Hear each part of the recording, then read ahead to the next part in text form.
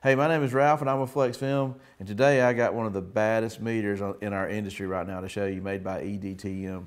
It's the uh, model SS2450 and it's amazing how accurate this meter is and how much it'll do. I won't go into all the details, this is a quick run through, but um, it's a lot better than an $80,000 meter that you could buy that uh, would, would do everything. But for, for, for us, this is where we're at. This is the best. And, and um, I just want to show you what it does. It, it, it, has three windows in it, and you stick film in between these two light sources, and you can get the information that you need. Uh, you get the UV reading at the top, you get the visible light transmission in the middle, which is actually photopic. It's going to give you exact reading of what humans see. Um, then you got this other window at the bottom. I'm not going to elaborate too much on it. You got uh, transmissions, solar transmission, and you got this damaged weight. We'll go over here in a minute. But anyway, it's battery operated. You, push the button and then it, self-calibrates. And then if you keep in mind, this is a transmission meter, so all this is, uh, information is going to show you what's being transmitted. And I'll, I'll give you a quick idea. Like this is a light window film. I'm going to put it in here, and going to show me all these transmission specs.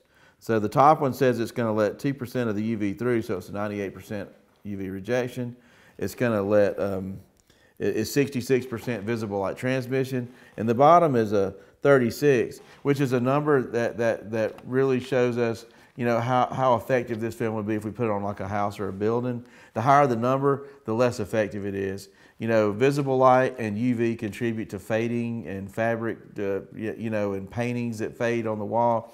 Uh, if it's a real low number, it's going to eliminate or almost prevent, you know, a lot of that, that harmful fading and that UV damage you're going to get. If it's a high number, it doesn't do that well. Uh, generally, light films don't do that well. Dark films do really well, uh, especially if they reject UV. Um, if you want to change to the modes, this is really cool. You, you can click this button right here. And, you know, now we're going to use the next set of values. I put my number, uh, my finger in front of there. I, I start to calculate again. Okay, now we're back calibrated. At the top window is an IR number. That's the, the cool number. That's one of the reasons I bought the machine.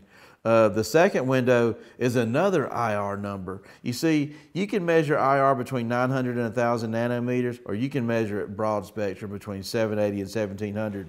It, it would be nice if this meter went out to 2500, but it doesn't. It would cost so much money to get that far out, and it's such a small percentage of the actual value of what you're going to need. It may be about one or two percent, you know, off at the most because it doesn't go out far enough. But for the money, you're you're going to get. I mean, you can take these numbers to the bank on any window film. It's so close. It may be off one percent at the most.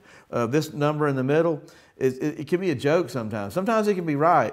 It, it's like trying to find out you know who's going to win the game, eh, but giving me only the score in the first quarter. The, the, this window right here is going to give me the, the score at the end of the game, so I'll know what's going on. Uh, and this last one, again, is that damaged weight.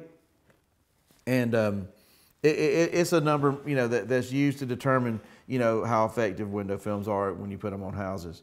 And again, the, the, the solar, the T-solar, is uh, the, the one I, I, showed you earlier, which shows how much solar energy goes through.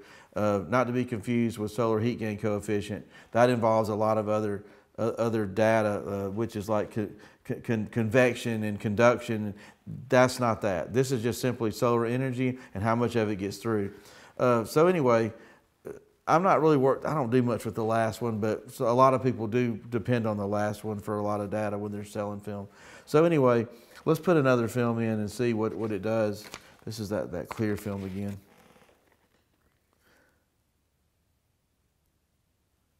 Just remember, the top, the top two windows are IR numbers. If we only take a snapshot like at the fourth, it, it, only at the end of the fourth quarter, we're, we're going to see like this film looks like it rejects or, or lets a 19% transmit through it. But if we do the whole, if we get the whole score, you know, like like the whole score of the game is really uh, it's letting 22% through. And, and that's important because we don't want to be misled by snapshot readings. This meter gives you the full spectrum reading that's very, very accurate so we can get down to the truth of what window films are doing. Again, that, that, that bottom number looks like it's a 55.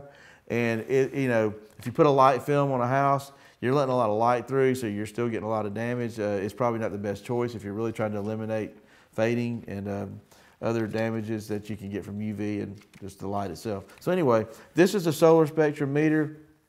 It's real easy to use. It's got two modes, and, and it's in sync with the uh, you know NFRC uh, standard, which is pretty cool. Gives us what we need to know. If you don't own one today and you, you want to be cool, you need to get this meter. This is sold on our website at Flex Film, and it's called the SS2450. It is the cool meter to have. Thanks for watching.